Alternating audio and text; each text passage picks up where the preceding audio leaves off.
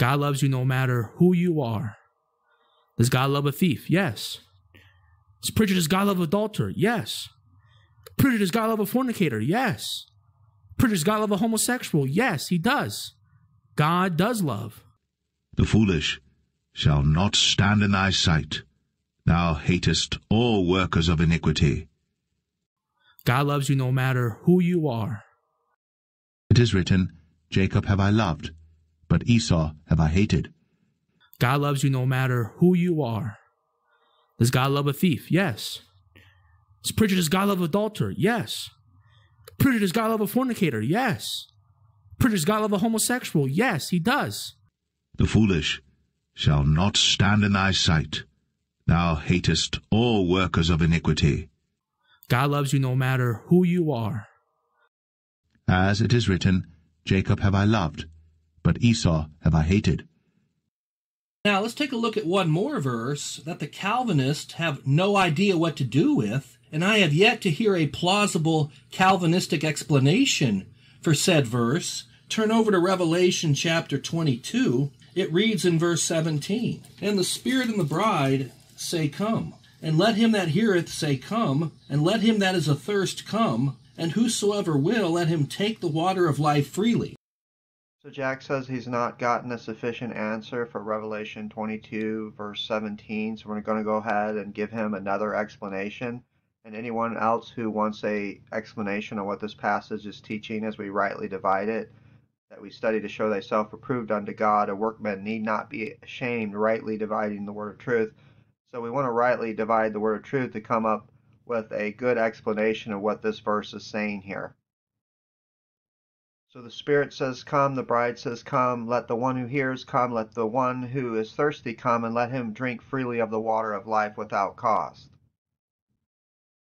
Now, when the scripture is saying the Spirit and the bride says, Come, and let the one who hears say, Come, it's talking about that there is a calling of the Spirit, that the Spirit says, Come, and let the one who hears say, Come. Now, this is taught in the scripture that there is a calling and that the called receive a particular individual effectual calling by the Spirit. Jesus said it this way My sheep hear my voice, I know them, they follow me, I give them eternal life, and they shall never perish, and no one will snatch them out of my hand. My Father who has given them to me is greater than all, and no one will snatch them out of his hand. I and my Father are one. So Jesus talks about how his sheep will hear his voice. He says it in another passage. I have other sheep not of this fold, and they will hear my voice, and they will become one flock with one shepherd. He also said it this way To him the doorkeeper opens, and the sheep hear his voice, and he calls his own sheep by name, and he leads them out. So Jesus talks about how his sheep will hear his voice, a definite statement that his sheep will hear his voice. And so the Apostle Paul goes on to talk about the called in the scripture, how there is a spiritual calling. Consider your own calling, brethren, that not many wise, not many noble, not many mighty according to the flesh have been called. So I'm going to stop there because as we consider this, as we rightly divide things, and we consider that Revelation verse where it says, The Spirit says, Come, and the bride says, Come, and let the one who hears say, Come, we realize from Scripture that not everybody is receiving the call of the Spirit, that not many wise, not many noble, not many mighty according to the flesh have been called. But Jesus, by the Spirit, calls his own sheep by name. To him the doorkeeper opens, and the sheep hear his voice, and he calls his own sheep by name, and he leads them out. We see this personal, individual, effectual calling in Romans 9, where it says, Though the twins not having been born, not having done any good or any evil, that God's purpose according to his choice would stand. So it's not of him who works, but of him who calls. It is said that the older shall serve the younger just as it is written, Jacob I have loved, and Esau I have hated. So we see here in this passage that not everybody is called, that Jacob was called and Esau was not called. That according to God's purpose, according to his choice, would stand, so it's not of him who works, but of him who calls. So this passage is talking about an individual, a personal, effectual calling where he calls his own sheep by name, an individual that to him the doorkeeper opens, and the sheep hear his voice, and he calls his own sheep by name, and he leads them out. Jacob was called. So the Spirit says, Come, the bride says, Come, and the one who hears says, Come. Well, it was Jacob that heard. He received the spiritual call. And in Romans 9, the same chapter, in verse 24, it says, Even us whom he called, not only among the Jews, but also among the Gentiles. So when we think about the scripture and it says in Revelation 22, the Spirit says, Come, the Spirit says, Come, is that something that everybody can audibly hear with their ears? That everybody just hears the call of the Spirit? See, it's saying the Spirit says, Come, and let the one who hears say, Come. Does everybody just hear this spiritual call? Because Jesus has given us definite statements about his sheep will hear his voice, they will follow him, he gives them eternal life, and they will never perish. But I have other sheep not of this fold, and they will hear my voice, and they will become one flock with one shepherd. Definite statements about how his sheep will hear his voice. Now we know he's not talking about a human audible voice, he's talking about a spiritual calling that consider your own calling, brethren, that not many wise, not many noble, not many mighty according to the flesh have been called. But God has chosen the weak and the debased and the despised and the foolish things of this world and the things that are not, and that by his own doing we are in Christ Jesus. So the Spirit is saying, Come, but it's saying, Come to those that were given to Christ before the foundation of the world, as Jesus says, All the Father gives to me will come to me, and the one who comes to me I'll by no wise cast out. So Jesus says, All the Father gives to me will come to me. They are given to Christ before they even come to him. And Jesus says, All that are given will come. They come because they're being called. My sheep hear my voice, I know them, and they follow me. I have other sheep not of this fold. They will hear my voice, and they will become one flock with one shepherd. To him the doorkeeper opens, the sheep hear his voice, and he calls his own sheep by name and he leads them out. These are the ones that are given him by the Father. And all the Father gives to me will come to me. They're coming because they're getting a spiritual call from Christ himself. So when we think about the Spirit and the bride says, Come, and the one who hears say, Come, well, all the Father gives to me will come to me and the one who comes to me I'll by no wise cast out. They will come and they will drink freely of the water of life. See, Jesus is saying, All the Father gives to me will come to me. So the Spirit is calling, it's saying, Come to the ones that are given by the Father to the Son, and through the course of human history, they will all come to Him. All the Father gives to me will come to me. They come because they're being called. Consider your own calling, brethren. Not many wise, not many noble, not many mighty according to the flesh have been called. To him the doorkeeper opens. The sheep hear his voice. He calls his own sheep by name and he leads them out. So the scripture is explicitly telling us to consider our own calling, something these people don't want us to do that hold to free will. They don't want us to consider our own personal calling. And the Apostle Paul tells us that he saved us and called us with a holy calling, not because of our own works, but because of his own purposes of grace which he gave us in Christ Jesus before the ages began. That he saved us and called us with a holy calling, that the Spirit says, Come, and he says, Come to those that he's calling.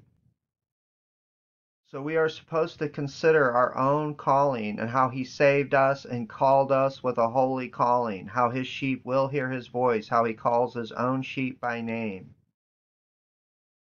That those he predestined he called, those he called he justified, those he justified he glorified. All the actions of God that first he predestines someone, he pre- decides their destination. Then he calls that person, he calls that individual to himself.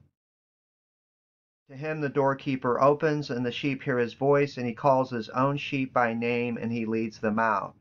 Those he predestined he called, those he called he justified, those he justified he glorified.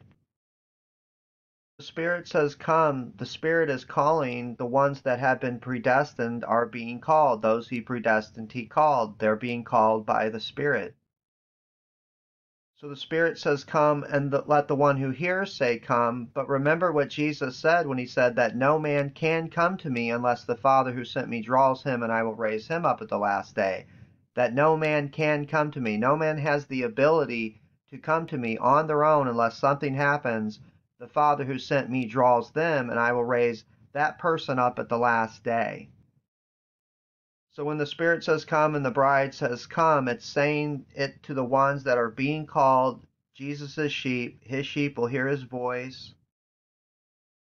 They will follow him, which means they will come to him. And Jesus says, No man can come, that no man can come to me unless the Father sent me draws him. So no one can just come to Jesus and drink freely of the water of life unless they are called, unless they are chosen. Brothers and sisters, we're always bound to thank God for you. Loved of the Lord, from the beginning God chose you to be saved through the sanctifying work of the Spirit, through belief in the truth. To this he called you through our gospel, that you might share in the glory of the Lord Jesus Christ. So, the ones that have been chosen, there's a sanctifying work of the Spirit, there's a call of the Spirit being done on them.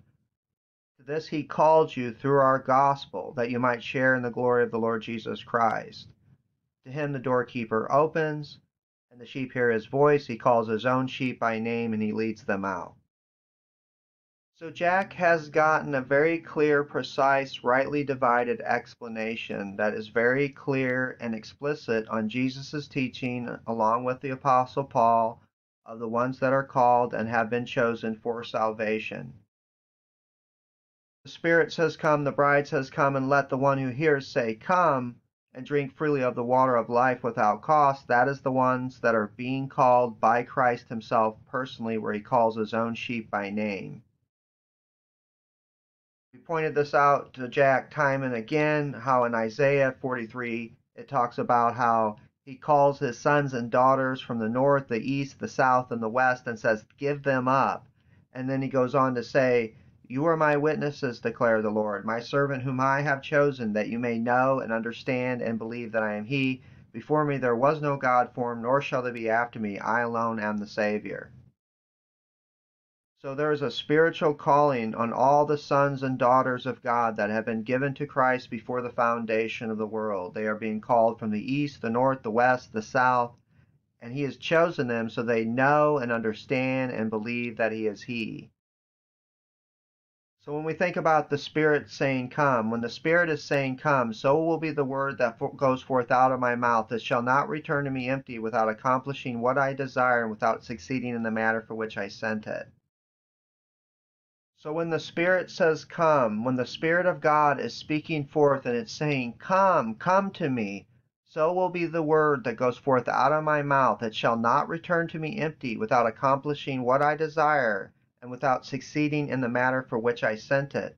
That everybody that he calls will come to him. To him the doorkeeper opens, the sheep hear his voice, he calls his own sheep by name, and he leads them out. So to us who are called, both Jew and Greek, Christ is the power of God and the wisdom of God. So to those who are the, called, both of the Jews and of the Greeks, Christ is the power of God and the wisdom of God. That when the Spirit gives the calling, there will be power. That word will not return empty without accomplishing what he desires and without succeeding in the matter for which he sends it that there's the spiritual call that goes out that says, Come to me, come to me, and all the Father gives to me will come to me. They're coming because they're being called by name. To him the doorkeeper opens, the sheep hear his voice, he calls his own sheep by name, and he leads them out. His word does not return to him empty, it accomplishes what he desires. All the Father gives to him will come to him as the Spirit gives the calling throughout the course of time in human history to the called. Consider your own calling, brethren. Not many wise or noble and mighty according to the flesh have been called, but God has chosen, God has chosen, God has chosen. So Jack Smack has been corrected on this time and time again. But the time will come when men will not endure sound doctrine, but will have itching ears. And this is what Jack is. He's a person that cannot endure sound doctrine. And there's a lot of people that he's pacifying with his own humanism and scratching their ears and giving them an alternative of what the scripture teaches to pacify humanism. And in doing so, we see the teaching of the scripture that they're not boasting in God, that consider your own calling, brethren, not many wise, not many noble, not many mighty, according to the flesh, have been called. But God has chosen the weak things of the world to shame the mighty. God has chosen the foolish things of the world to shame the wise. And the debased and the despised things God has chosen, and the things that are not to nullify the things that are, that no man may boast before God. But by his own doing you are in Christ Jesus so when it says that no man may boast before God, it says because God has done the calling, a personal, individual, effectual calling, and God has done the choosing. God is the one that chose people that by his own doing you are in Christ Jesus.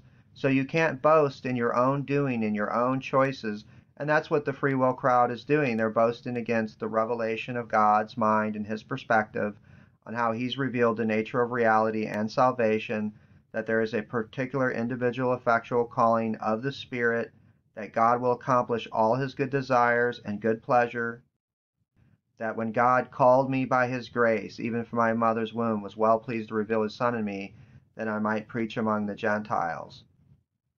That's what Paul said in Galatians, and he understood that he was called by God. When God called me by his grace, to him the doorkeeper opens, the sheep hear his voice, he calls his own sheep by name and he leads them out.